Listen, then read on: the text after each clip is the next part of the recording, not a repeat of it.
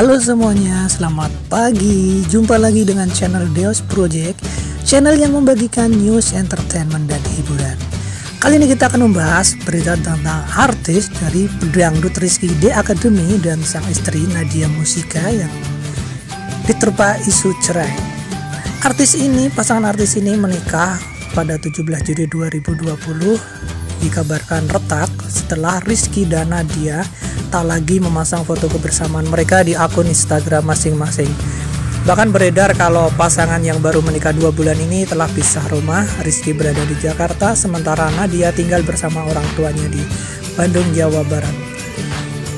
Sempat bungkam soal masalah rumah tangganya, Rizky mengatakan mengklarifikasi bahwa meminta doa yang terbaik kepada publik.